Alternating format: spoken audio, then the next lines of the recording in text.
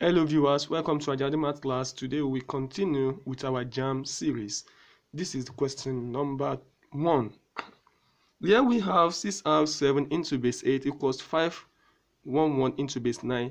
Here there's a need for us to convert to base 10 and by doing so we are going to assign values to the power of this. Here we have 0, 1, 2. Okay, and here also we start with this 0, 1, 2 so in doing this we have um 6 times the base which is 8 raised to power the power which is 2 plus r times the base which is 8 raised to power the power of what? 1 plus 7 times the base 8 into raised to power the power of 0 equals 5 times the base which is 9 raised to power 2 plus 1 times the base 9 raised to 1 plus 1 times the base raised to power 0 and in doing this we have this to be 6 times 8 raised to power 2 gives 64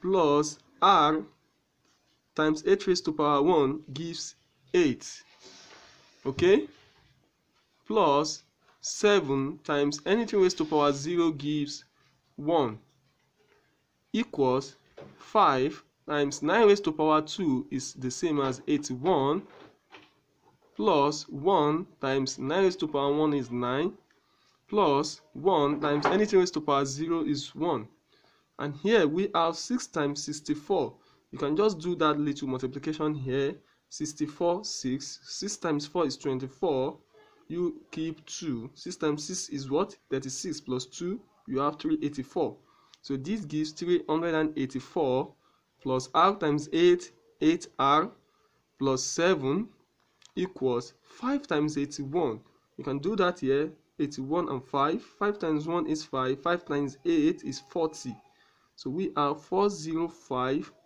plus 1 times 9 gives 9 plus 1 times 1 gives 1.